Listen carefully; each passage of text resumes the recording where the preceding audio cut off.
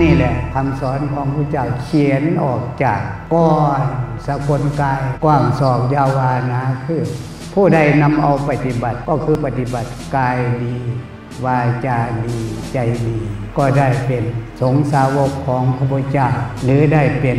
พระโสดาบัน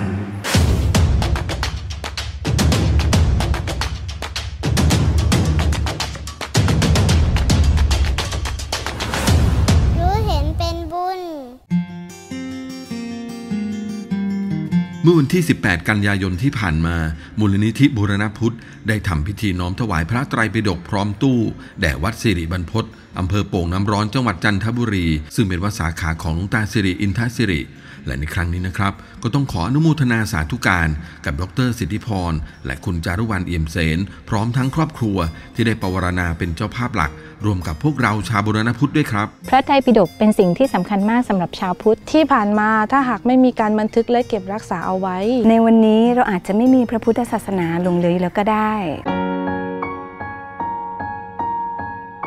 สงฆ์สาวกของพระพุทธเจ้า หมู่ใดปฏิบัติดีแล้ว อะไรดี กายดี คือไม่เอากายไปฆ่าสัตว์ลักทรัพย์ประพฤติผิดในกามวาจาดี ไม่เอาวาจาไปพูดปด พูดส่อเสียดพูดคำหยาบ พูดเพ้อเจอ ใจดี คือไม่โลภอยากได้ของเขา ไม่อิจฉาพยาบาลบุคคลอื่นสัตว์อื่น เป็นผู้มีสัมมาทิฏฐิ เห็นถูกต้องตามทำนองของธรรมนี่แปดหมื่นย่อลงมาเท่านี้ เมื่อใครนำเอาปฏิบัติก็เรียกว่า สงสาวกของพระพุทธเจ้า หมู่ใด